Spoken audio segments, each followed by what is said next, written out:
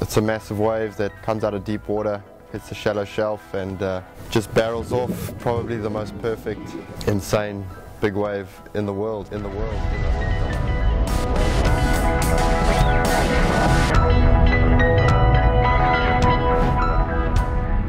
Somebody actually shouted to me as I got up on the rope and they said, uh, Merry Christmas, Twig, you. And it was this big, big A-frame, and I, but I could also see the, the west bowl kind of coming towards it. And uh, I thought, oh, well, this is the one, you know, this is the one I've been waiting for.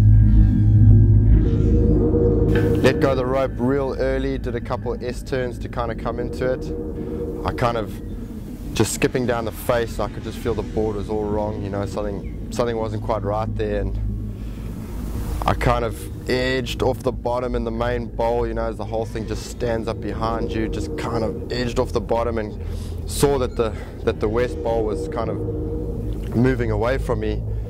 So I pulled up to do kind of like a high line turn to get, gather speed to kind of rush through the west bowl.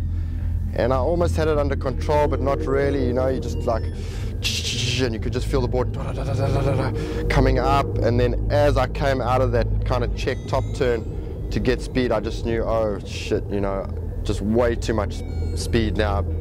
Can't control the board. I could feel the tail kind of cavitating, and I was thinking, oh shit, you're not going to make it, but still give it your best shot. And as I came out of that kind of check turn and headed into the bowl, I saw these two kind of chops, wind chops or off the cliff, and I knew I had to make them. I kind of just got over the first one, and boom, the board just stopped dead on the second wake.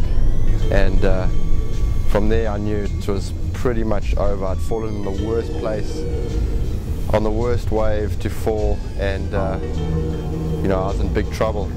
Kind of the board just stopped dead, and I went over and landed on my chest, and it knocked all the wind out of me. Like this, all the wind knocked out of me. And at that moment, I just thought, you know, pretty much, okay, you're dead. It's over, you know, and just full panic, you're dead, it's finished.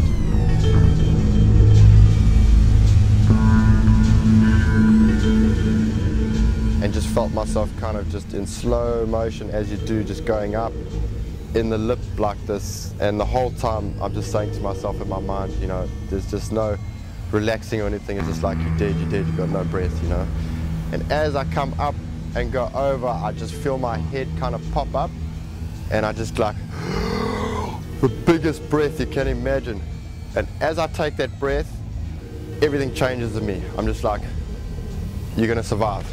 And from there, I just enjoyed the ride. I just kind of just went on this amazing roller coaster ride over the falls. I was kind of facing and I could see for a split second, I could see everyone out the back like that and just insane kind of descend over the waterfall and then boom, just so violent, straight to the bottom, boom. And as I hit the bottom, I kind of hit on my hands and knees like cat, cat style like this. Also again, kind of hands and knees and chest hit the bottom, but I kind of almost crawled along this huge boulder. It's not small little boulders out there, it's these huge boulders like the size of houses. And I was down there a long time, kind of just like up a little bit and then pushed back down and kind of feeling the boulders again.